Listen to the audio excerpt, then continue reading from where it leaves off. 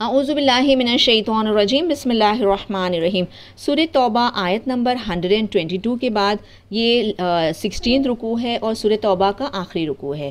یا ایوہ الذین آمنو، اے لوگو، وہ لوگ جو ایمان لائے قاتل الذین یلونکم من الکفار، تم سب لڑو ان لوگوں سے جو پاس پاس ہے تمہارے کفار سے یعنی کفروں سے۔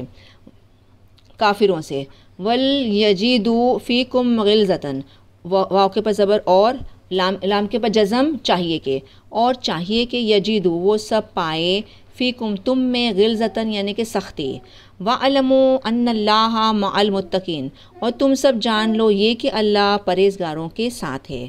و ایزا ما انزلت سورتم سورتن فمن ہم میں یقول ایکم زادت ہو حاض ہی ایمانہ ایمانن اور جب جو نازل کی جا رہی ہے کوئی صورت، پھر ان میں سے جو کہتا ہے، کون تم میں سے زیادہ ہو گیا یا زیادہ کر دیا اس کو؟ یہ اس کا اس کا ایمان یا یہ ایمان۔ و ام الدینہ رہے، پھر پھر رہے وہ لوگ جو۔ فعم الزینہ پھر رہے وہ لوگ جو آمنو وہ سب ایمان لائے۔ فضادت ہم پھر بڑھ گیا۔ اس نے بڑھا دیا ان سب کا ایمان ایمانن یعنی ایمان کو۔ وہم یس تب شرونا اور وہ وہ سب خوشیاں مناتے ہیں یعنی خوش ہوتے ہیں۔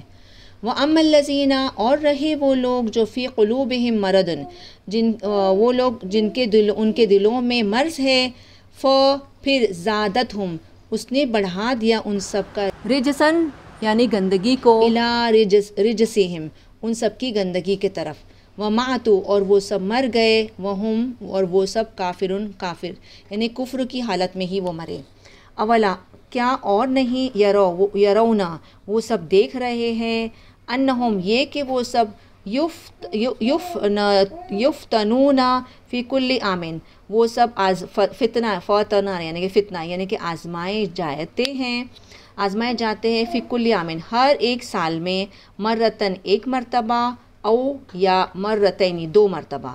ثم پھر لا یتوبونا نہیں وہ سب توبہ کرتے ولا ہم یا کرون اور نہیں وہ سب نصیحت پکڑتے۔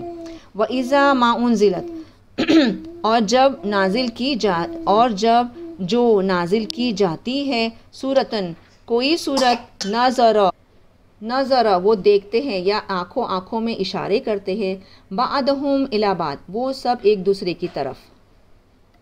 حل کیا یراکم؟ وہ دیکھ رہے ہیں تم سب کو من احدن کسی ایک میں سے۔ ثم پھر سمن صرفو پھر وہ پھر گئے۔ صرف اللہ، پھیر دیا اللہ نے قلوبہم ان سب کے دلوں کو۔